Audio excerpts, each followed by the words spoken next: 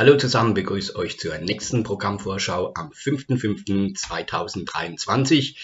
Ich werde nicht der Einzige sein und wahrscheinlich auch nicht der Letzte, der diesen Fall hier nochmal aufgreift.